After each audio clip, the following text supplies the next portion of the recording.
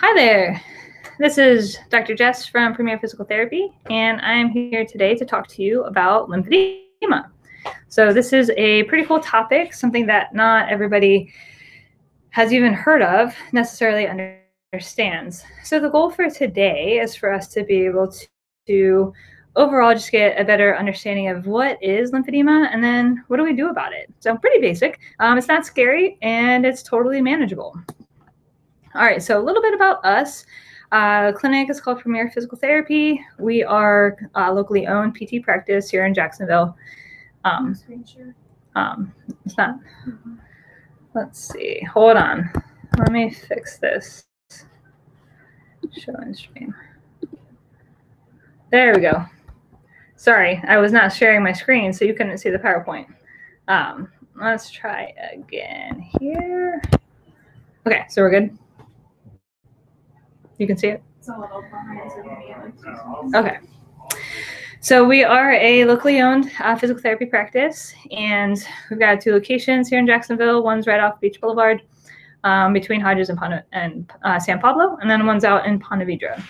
We treat all sorts of specialties, um, in addition to orthopedics, meaning we can treat anything from head to toe, plus specialties that include head and facial pain, uh, lymphedema. Um, we do oncological rehabilitation, uh, which is something else that I run here at um, Premier. And then we do all sorts of stuff with post surgical rehab, sports performance training. So if you want to learn more about us, check us out on our website and we're happy to, or call, call or email us and we're happy to give you some more information. But today, the goal is, is to understand lymphedema. In order to do that, we need to further um, give you the backstory of what is the lymphatic system? So if we don't know the normal physiology, then it's hard to understand what can go wrong with it. Okay, so the biggest thing that you need to understand about the lymphatic system is that it's part of the circulatory system, meaning that we've got arteries, veins, and lymphatics. So the artery takes oxygenated blood and pumps it throughout your body to deliver oxygen and other nutrients to your tissues. Now, once your tissues, you know, muscles and whatnot, use those nutrients, what, what's left essentially is now deoxygenated blood. Okay. Um, but then there also might be waste products that are a byproduct of muscle contractions.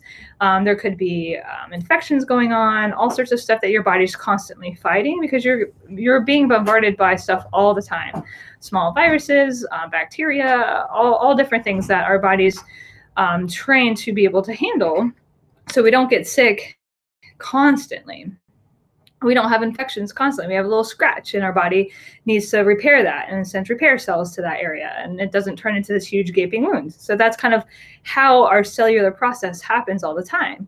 But once those cells are delivered to the area, now they have to be picked back up, and then we've got to return those cells back to the heart because that's essentially what's going to happen is that that's going to come back to the bloodstream and then it becomes reoxygenated again.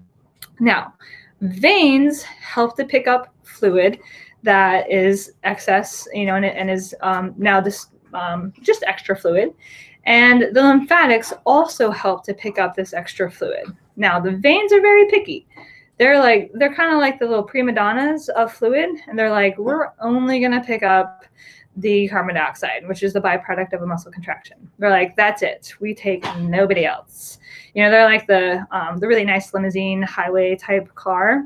The lymphatics are like, listen, I got you. Okay, like if whoever you are, I got you. You come on in, and like I will give you a ride back to where you need to go. Okay, so that's the lymphatic system. What that means is that that lymphatic fluid has to be filtered. So you can't just take all this crap that's been circulating throughout your body and just dump it back into the heart without it being cleaned. So that's what makes the lymphatics different than the veins, is that the lymphatic fluid has to go through lymph nodes to clean that fluid, and then it can be returned back to the heart. Okay. And so the physiology of the lymphatic system is different than your venous and arterial system because of the lymph node itself. And we'll, we'll kind of further explain those lymph nodes in just a minute. Okay. Now, when we think of the lymphatic system, we've got different areas of the body that are all filtered through different sets of lymph nodes. Okay. On this picture, you can see, and I know it's probably a little bit small, but what you see is that you've got a line going across right around the um, collarbone. Okay. A line that goes down the midline of the body, and then a line that goes across where about that last rib sits. Okay. Now, anything that's in the territory of this line, which includes anything from the collarbone to midline to the rib, okay, and over, all filters through lymph nodes in the armpit. Anything that's midline of the body, lower abdomen, and leg, all filters through lymph nodes in the groin. And the same is true for the opposite side, okay? And then anything above the collarbone, midline, is going to, in the head, is going to filter through lymph nodes in the neck. And the same thing for the other side. So essentially, we have these big groups of lymph nodes. We've got a big chain in the neck on either side. You've got a big chain in the armpit on either side. And you've got some big ones in the groin on either side. There's also some deep lymph nodes in the abdomen that help to filter the fluid from the abdomen itself. All right. Now, why that matters is because anything inside of the territory could be affected with swelling if we have a problem with the lymph node in that area. Okay. Um, so if we think of lymphedema, it might not just be affecting the arm. So a lot of times I'll have a patient that comes in after, uh, let's say they had not a full mastectomy, but they had a lumpectomy.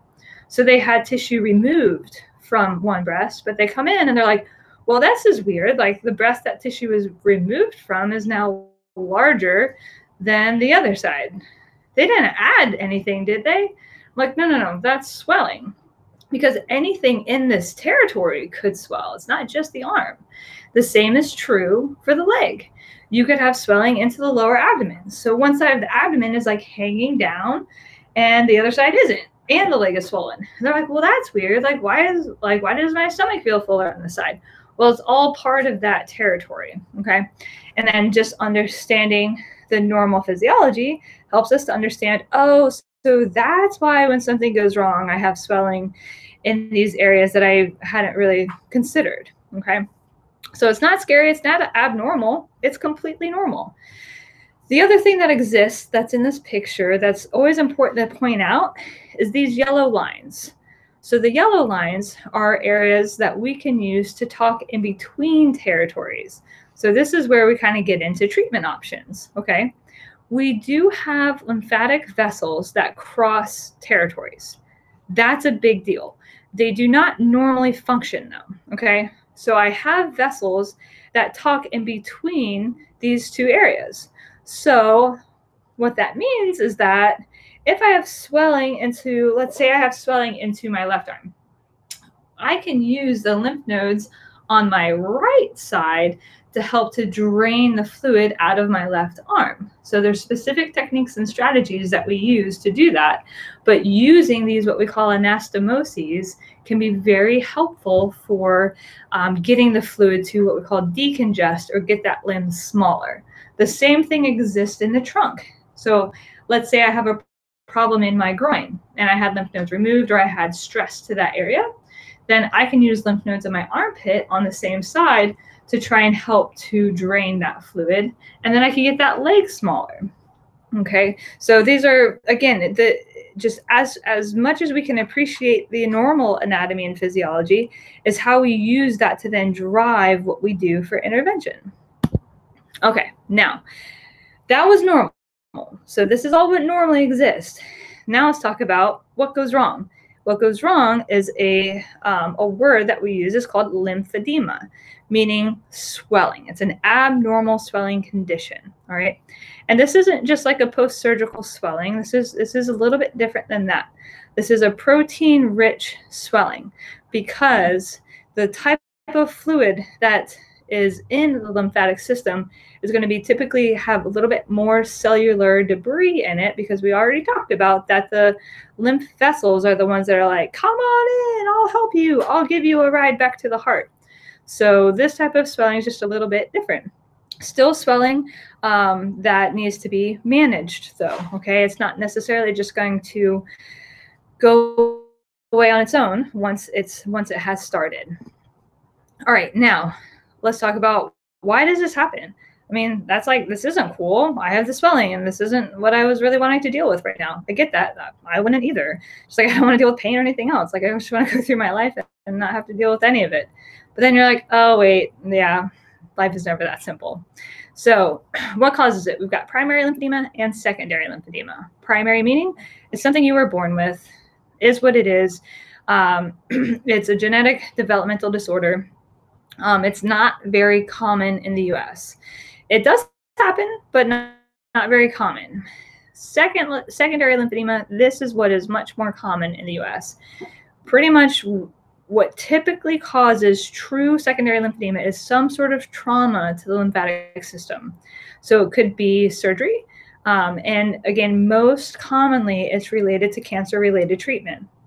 This has nothing to do with any anybody doing anything wrong with cancer related surgery. This is not something that went wrong in surgery. It's because in order to stage the cancer, they have to remove a couple of lymph nodes in order to test to see if they're positive.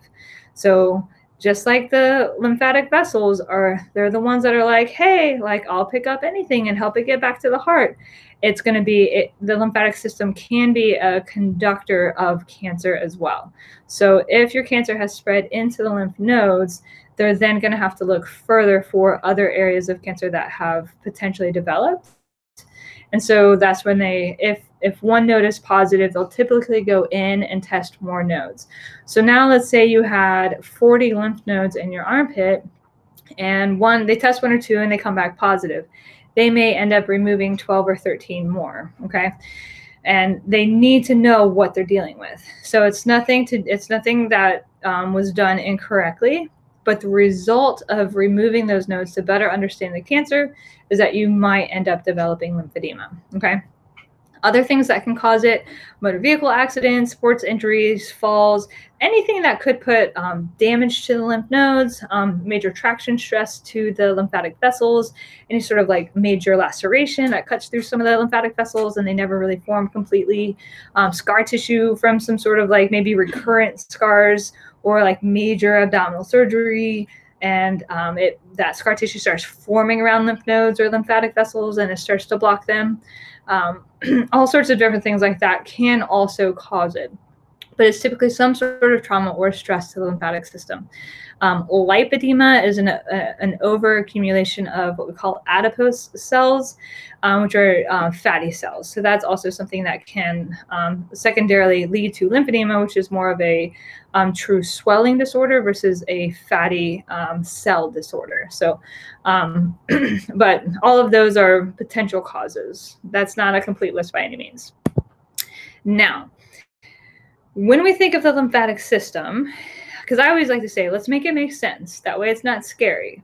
So if we think of the lymphatic system and we have what's called a transport capacity. So it's how much fluid can the lymphatic system handle at any period of time. So let's say the typical capacity of the lymphatic system is here. And how much load are we currently placing on that lymphatic system? So let's say if the capacity is here, so I can handle 10 levels, like boop, boop, boop, boop, 10. Um, but my load commonly day to day is two. I don't really put much load on my lymphatic system.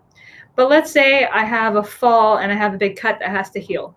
Boop, boop. I'm going to put a little bit more load on that lymphatic system because I've got cells that are coming in to repair that site where I have a scratch. Well, let's say I have a surgery, because now I have post surgical swelling. And I've got um, some areas that maybe I have hardware that's been put in my body or whatnot. But I'm still less than my capacity, which means that I don't have any long lasting, what we call edema or swelling. Okay.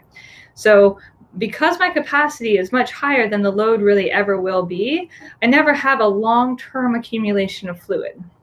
Now, what happens when we have damage to the lymph nodes or removal of lymph nodes?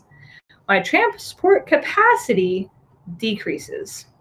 So once I have a decrease in that capacity, and I might have a load then that starts to surpass the capacity, what's left, okay, this little barrier in between, what's left is swelling. So swelling is the result because the lymphatic vessels combined with the efficiency of getting that fluid filtered through the lymph node is no longer able to keep up with the amount of fluid that it needs to filter. So we get this backlog of fluid. Um, and that's what leads to the limb getting larger and swollen and the um, the everything that can happen after that. And then there's some stages that we'll go through as well. The best way I like to explain this when we think of why does this happen, okay, is imagine you're going on a highway. We've got all these lanes. I mean, think of this horrible highway. I would hate to drive that highway every day. That would be awful, but people do. Okay. Um, so every single lane must pass through a toll booth. Nobody gets to go around the toll booth. That's not fair, right? So let's say typically every single toll booth is open. It's staffed 24 7 okay? We've got shifts of people coming through. Everybody can go through just fine. That means my transport capacity is normal okay? Now let's say that i was diagnosed with breast cancer and i had to have lymph nodes removed. They removed two they were positive i had 10 more removed so i had 12 removed. So now my capacity has decreased because the number of toll booths, so think of each each lymph node as a toll booth, has now declined. So I have now closed a quarter of the toll booths at this um, at this intersection here. Okay, so if all of this traffic, the same amount of traffic, still has to go through less open toll booths, what happens is we get a backup of traffic. So we can kind of see that. Now, if we think of over time, okay, We've closed these other toll booths. Those toll booth workers are never coming back. The toll booth workers that are left are told, listen, we're kind of, you know, we're low on hiring and we're not going to replace these people. So you don't get PTO anymore. You don't get weekends off and you don't get vacation. You just have to work harder and longer. Sorry, but that's how it is. So what can happen over time is that the toll booth workers that are left are like, this is horrible. I don't like this. And they can up and quit. Okay. And if they up and quit, they're not going to be replaced. And so that's what happens with lymphedema if it's not managed, is that we put this extra strain on the lymph nodes that are left. But if we don't give them some help, they can slowly over time start to quit. And that's when we start to get into these uh, more advanced stages of lymphedema that is preventable. We can help to prevent that from happening. We just have to be proactive and not reactive. So we can't wait until the toll booth worker has quit and they're on their way and they're gone, they're out to be like, oh, let's see if we can recover them. Um, no, it's done. Like the deed was done. So we just at that point we're trying to preserve what's left. Um, so the big a big point of this talk is to say let's be proactive instead of reactive. Let's not wait until we have all these toll booth workers quitting because we already know that we've got a quarter of them that are gone okay? The lymph nodes were removed. So let's support who's left so that we can continue to have the best possible management for the long term. The better we understand the physiology physiology and anatomy the better that we can handle the decisions that we should be making for our body in the future. Now, how I how I kind of already prefaced a little bit is that we have these different stages of lymphedema. So stage zero means that we've had some sort of injury to the, the lymphatic system, meaning we've had some lymph nodes removed, maybe we've had a big laceration, we've had surgery that have you know severed lymph nodes, or um, uh, radiation has hit the nodes, or um, vessels have been cut but we don't have any visible swelling or symptoms. So what that means, if we go back to kind of the explanation, is the transport transport capacity is less than it was, but it's still sufficient. So we still are we're still fine. We can handle the typical day-to-day stress. So we're okay. But it is considered a stage zero lymphedema because your transport capacity is less than it was. Okay, so this is what we call the pre-stage. Once we get into stage one is when we do have visible swelling that occurs. However, if you elevate that leg or your arm or whatever it might be, or you sleep overnight, the swelling reduces because gravity is constantly affecting our body.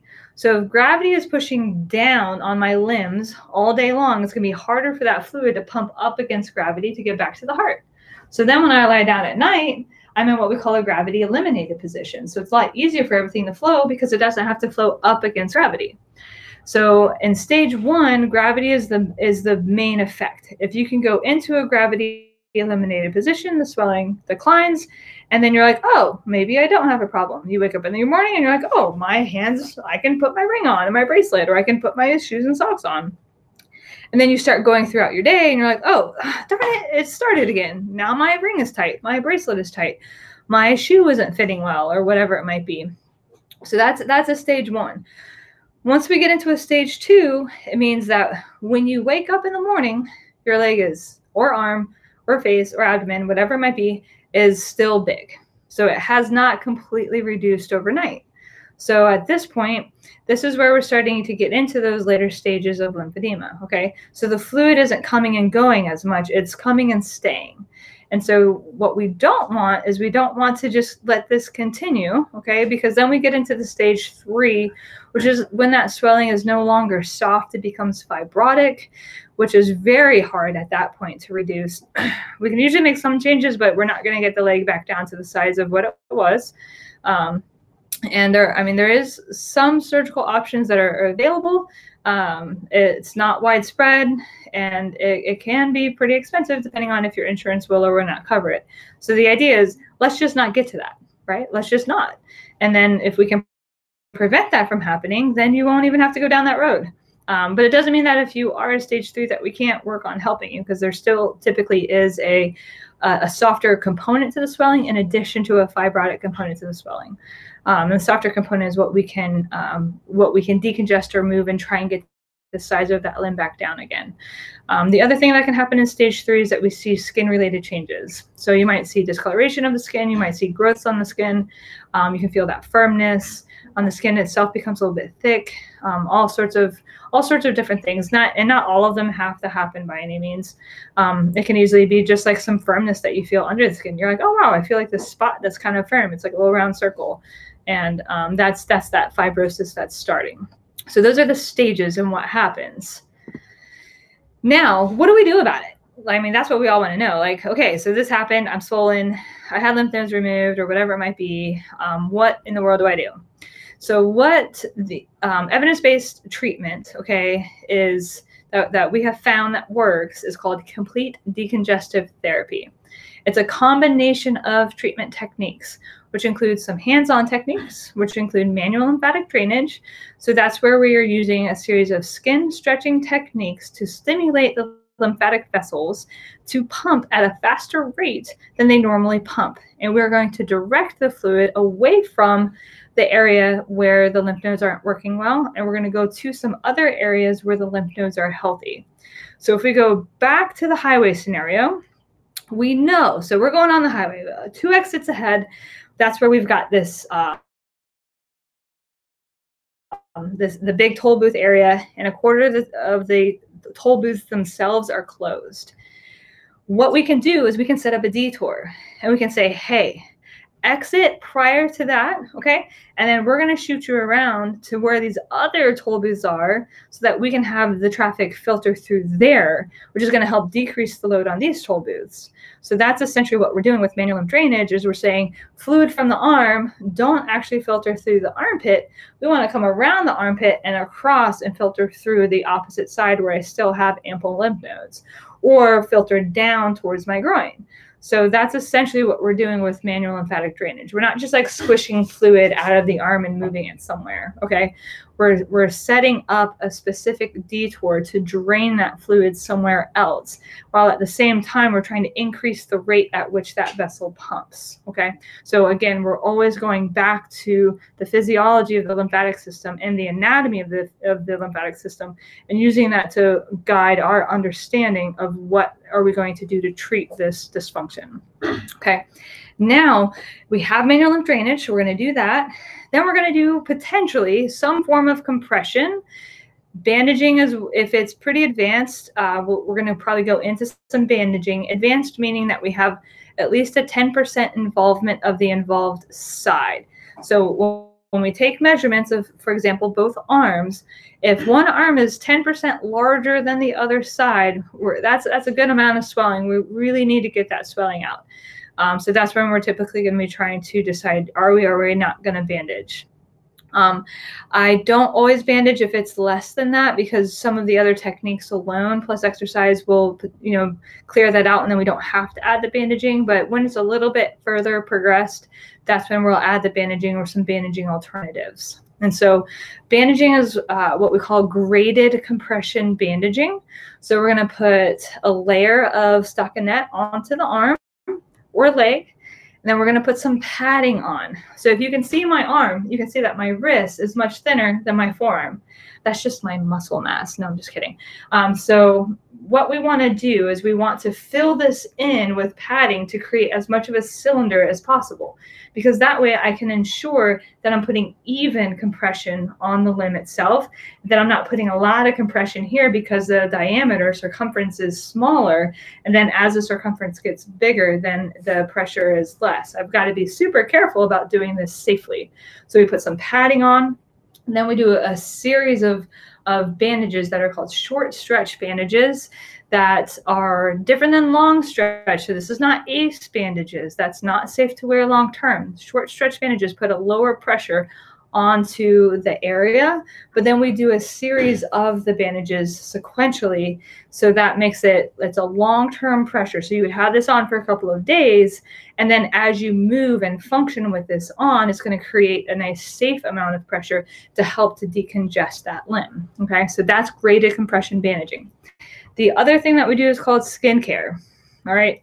If we think of having a swollen area, okay? So I've got my artery that's supposed to be delivering nutrients to my skin.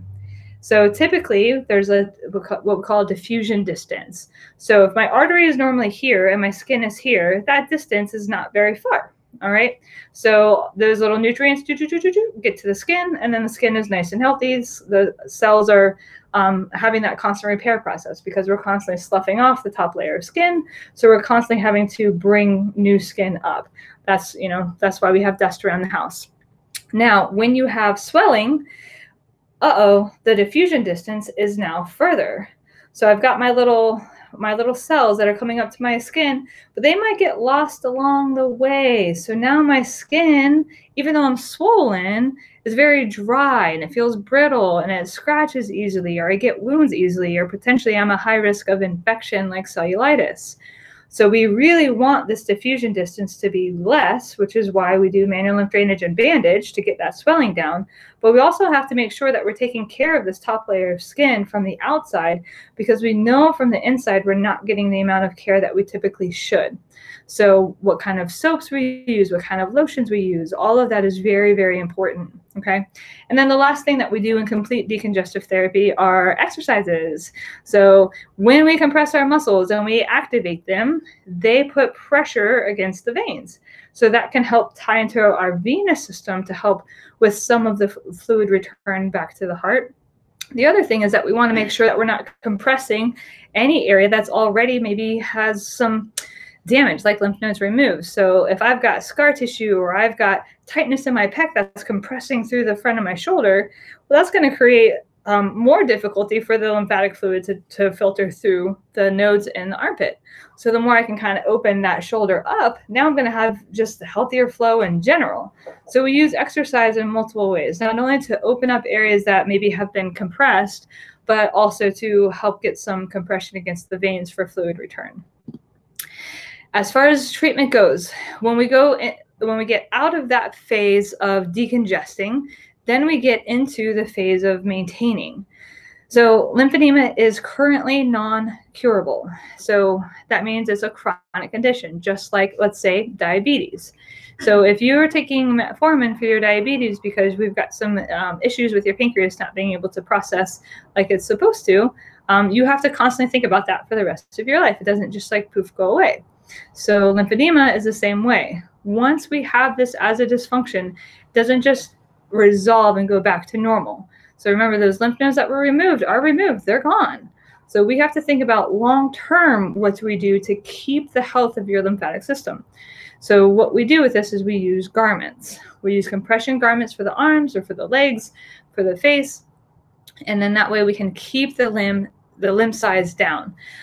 Other things that we use might be instead of us doing manual lymph drainage, we might be teaching you to do self manual lymph drainage. We might use a pump to help with keeping that lymphatic fluid flowing. Um, we will probably give you some sort of a home program to keep everything moving like it's supposed to. And then also have you continue with proper skincare. So now you've got this phase of treatment where we're trying to get everything under control, but then we're also doing a ton of education to teach you, okay, long term, now what do I do? How do I keep this down?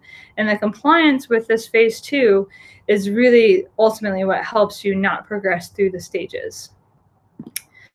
All right, now we're always going to open up to questions at the end. Um, you can, um, you know, write them in, and if there's none, that's totally fine. Um, but I will say that if there's any anytime that you're like, I don't really know what this is, and maybe I'm kind of confused, should I talk to my doctor? Should I? You can always reach out to your physician and ask them um, what they think, but you can always also email us. You can shoot um, myself an email. It's super easy, jess at pptjax.com. Um, we'll write that in the comments section so that way it's, you know, you don't have to memorize it. And um, you can call the clinic. So um, that's kind of the numbers right there at the bottom of your screen. You can call the clinic and then we can try and give you a call back. Um, or you can come in for a treatment, right? You can come in for an evaluation and say, What do you think? Do you think you can help me with my swelling? And we'll either say yes or no. uh, we're never going to take on a patient that is presenting with either red flags or things just aren't adding up and it's like hmm this isn't presenting like a typical lymphedema. We might have something else going on that's creating swelling. All sorts of different things can happen. It could be associated with congestive heart failure. We could have um, what's called a, um, a blood clot in the leg. Okay it's a dvt so there's things that we're constantly going to be screening for in the evaluation process to ensure that it's safe to continue and that the diagnosis is lymphedema and that it's not something else that's creating swelling. All right. So please don't hesitate to reach out, um, talk to your doctor, talk to other people in your life, but please don't just let swelling continue. Swelling is a sign that something is not finding a homeostasis, something isn't able to respond appropriately. And so your body needs some sort of help, whatever it might be. All right. Um, all right. Well, I appreciate you watching, and I will hopefully see you all soon. Okay.